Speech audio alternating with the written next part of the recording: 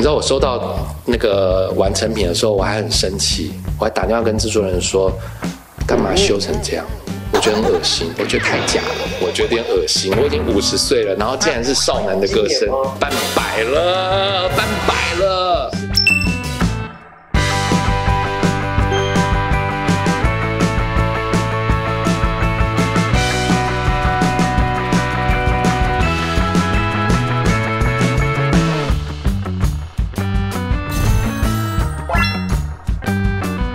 多重宇宙里面，除了花艺，然后除了造型师，去年拍了戏，今年什么？院长，医院的院长。嗯，是你第一次演戏吗？哎，第一次不是演李明川，我前面都是演李明川啊，各种版本啊。那你歌手为什么为什么要做这个事？呢，唱歌这件事对我来讲是一个挑战，因为我对唱歌是没有自信的。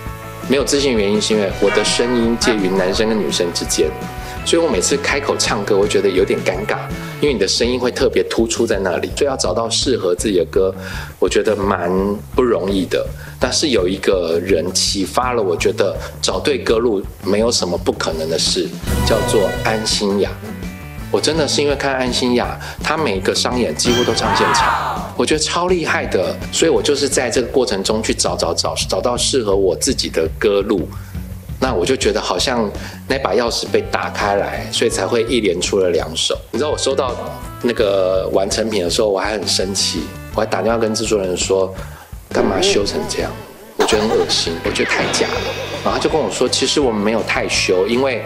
现在的技术就是音准可以修，拍子可以修，但音色不能修。原来不知道陈你这声音是你自己是这样。对，因为呃有一点我自己讲，就是他是少男的歌声，我觉得有点恶心。我已经五十岁了，然后竟然是少男的歌声，半百了，半百了。换个角度想，就是都了到这个半百的年纪，目前的人生哲学就是。